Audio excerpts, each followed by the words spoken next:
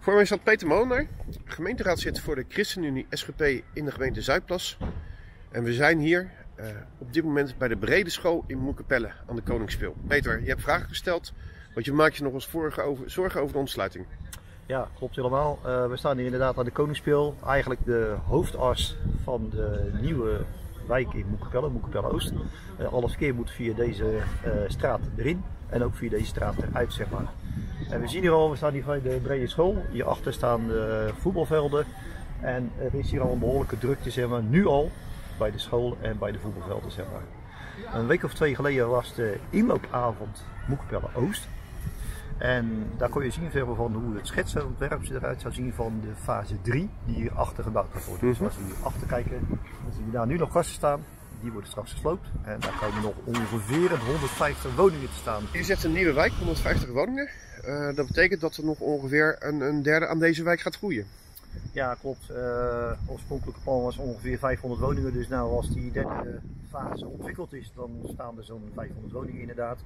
En uh, oorspronkelijk was altijd de bedoeling zeg maar, van dat derde fase, zeg maar, dus die hier achter gebouwd gaat worden, mede ontsloten zou worden via de middelweg. Zeg maar. Dus daar heb ik stukken van gezien.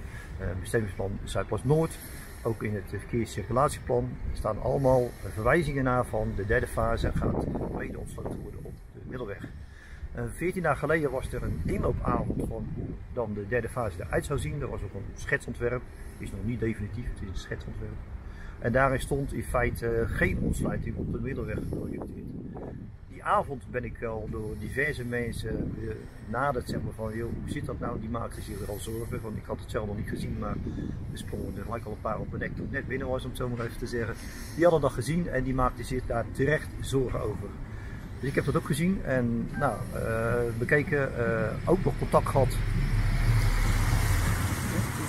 Ook nog contact gehad met uh, de directeuren van scholen. En die zien dat ook wel als een zorgpunt van als straks de derde fase niet ontsloten wordt via de middelweg. Maar dus die auto's de straat in, de straat uit moeten gaan en dus ook nog een keertje weer langs de brede school gaan zetten. Oké, dus dat, betekent eigenlijk dat van maandag tot en met zaterdag, uh, want zaterdag is natuurlijk hier de voetbal, uh, echt een enorme drukke weg wordt.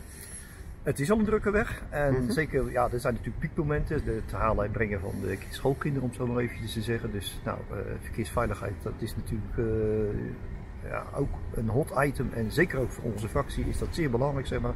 Hier lopen heel veel kinderen. Je moet er niet aan denken dat er wat gebeurt op deze drukke weg. Die alleen maar drukker gaat worden. Zoals het schetsontwerp nu zich voorstelt. Je hebt vragen gesteld aan het college. Wat hoop je?